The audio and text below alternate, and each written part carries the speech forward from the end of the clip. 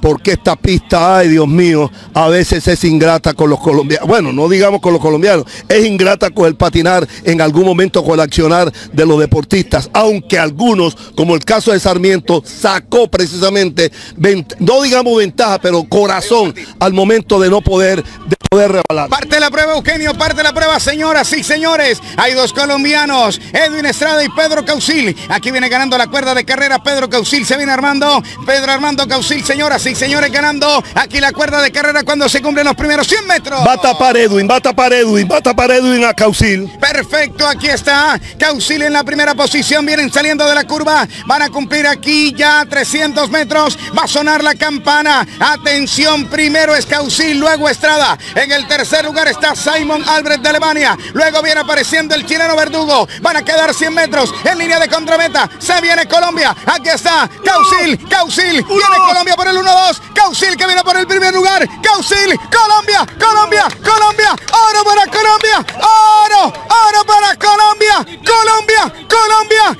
El oro es para Colombia. La plata es para Colombia, señoras y señores. Medalla de oro para Pedro Causil. Se levanta gigante aquí en Barcelona. Se levanta con la victoria el colombiano. La medalla de oro es para Colombia.